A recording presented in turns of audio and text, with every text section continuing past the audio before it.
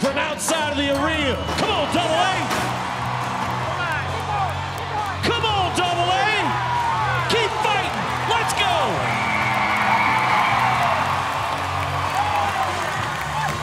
Outstanding. Andrew Alvidrez is a force to be reckoned with. Man? A couple of speed bumps the last couple of weeks. That is a bull that had bumped him off back last fall, but not today. How about 87 and a quarter?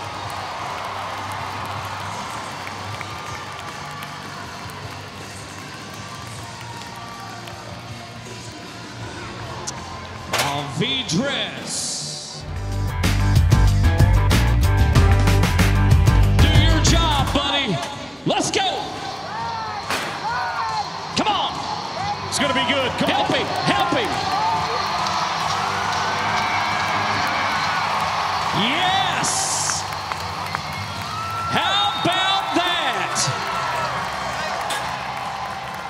Jesse Petri having some fun out here. Good job. Watch this replay. Look at Petri. Yep. That bull's going to turn back to the left. Look at his left hand down into his hand, and they're just going to go spinning until he opens up that right foot Oh, yeah. to show those judges he's in control. Right now, he's in control of the leaderboard. Hey, everybody, look at that guy on the big screen. Now let him hear you make some noise for 87 and three quarter points. Oh, I love it.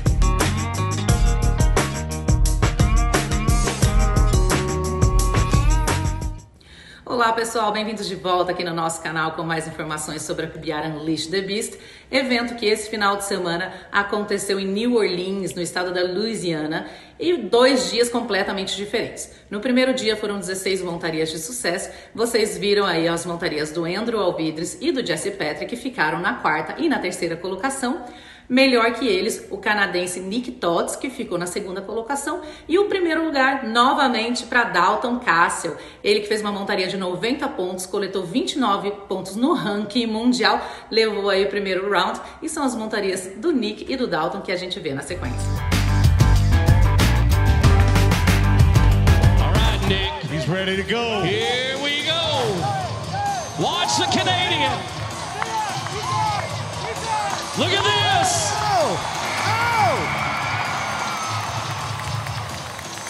Oh, look out. How about the Canadian? Fired up.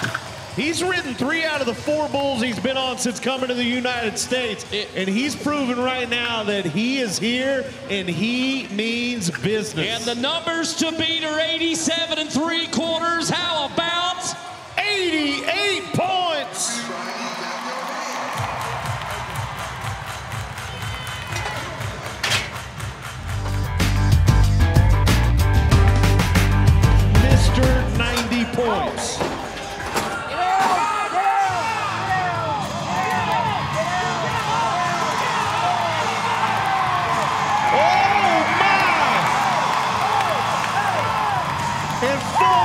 That's why. How about giving it up for Dalton Kasel right now? Wow, Wow. Dalton Kasel. Absolutely outstanding. Why did we call him Mr. 90 last season? Ladies and gentlemen, the numbers are in. How about 90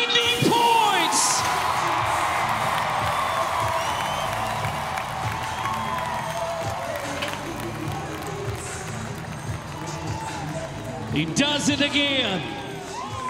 Another 90 pointer.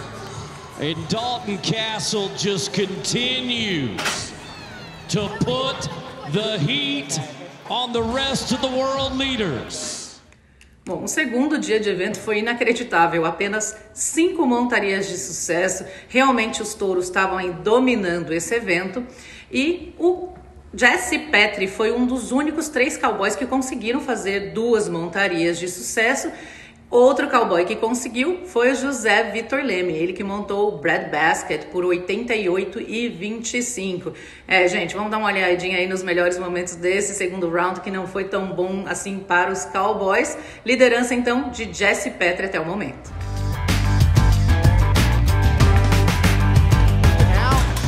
There we go.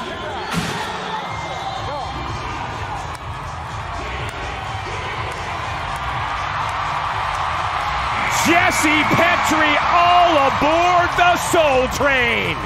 We've got a new leader in NOLA. Great ride by Petri here. And look, he's not going to be that 90 like I was hoping for. Soul Train just didn't have that kind of day. But it was a good day and it was a good solid ride by Jesse. Watch it back on the Can-Am cam. Really fires around the corner, but then he just gets kind of slows down, gets pretty nice to ride. Petri does. This, guy's got a lot of ability. He's a longer, lankier guy, but he really looks good on the back of a bull. Still awaiting scores. They come in finally 86 and a quarter, and he is the only qualified ride in the round so far, and therefore a full bull ahead.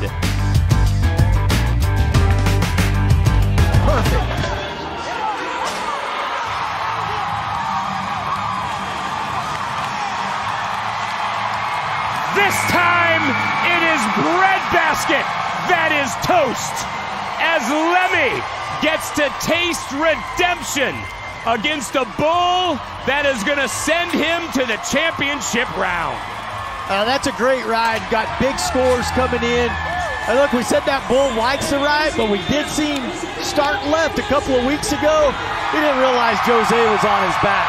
Bad move going to the left. 88 and a half, and most importantly, because of such few rides in the round, Mac, that moves him to second overall. Yeah, I mean, he's going to have a shot at, at winning another event, you know, having a really low score in the first round, but coming back with a huge answer right here. Speaking of answers, you want to know how much that means to our world number one? Take that in. Let's send it down to Kate. Joseph.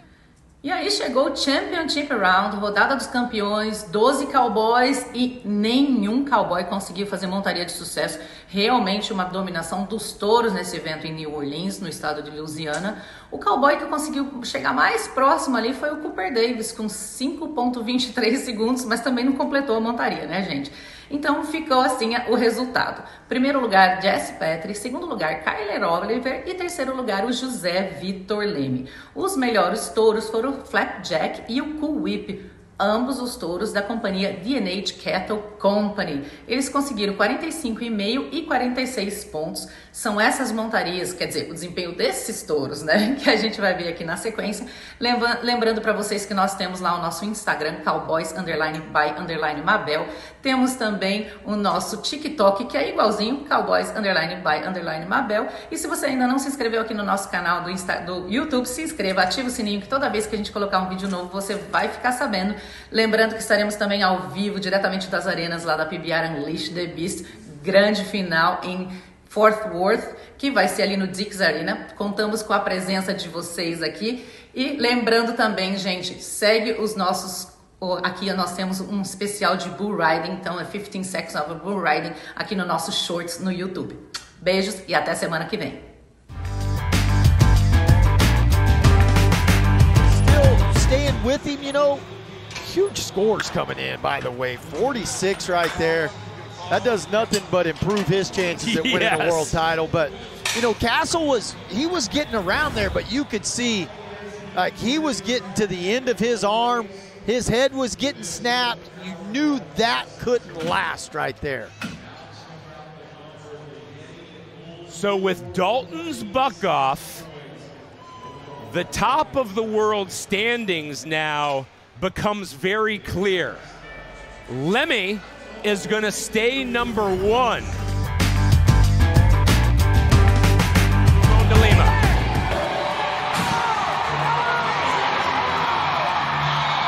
Well, it was certainly a weekend for the Bulls as Petri tastes defeat for the first time, falling to Flapjack in around four and a half. The Bulls go a perfect 12 and 0 in the championship round. Yeah, hats off to the Bulls, the stock contractors, 45 and a half, the numbers for Flapjack. And look, that was as an impressive a set of Bulls as as you're ever going to want to see all put together in one place. And some top guys banged up, Bulls taking advantage. Well, here's that page showing you our winners and place getters.